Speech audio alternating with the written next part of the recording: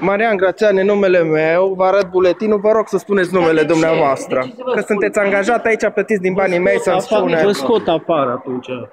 Ăla, vă scot afară, te scot afară. dacă- Deci oriunde ați Că, merge, că dumneavoastră, nu spuneți numele dumneavoastră, eu vă arăt, Să vă spun, uitați. Spuneți-mi care e motivul. Uitați, vă Dar arăt nu fi, mă. buletinul. Care e motivul care îmi cereți numele? Ca să știu cu cine discut. Da, vorbiți cu mine, sunt un angajat, să zicem, da? Și mai spuneți-mi angajat mot- ce- Dar spuneți motivul. Ca să știu cum să mă adresez. Domnul Grigore, poftiți.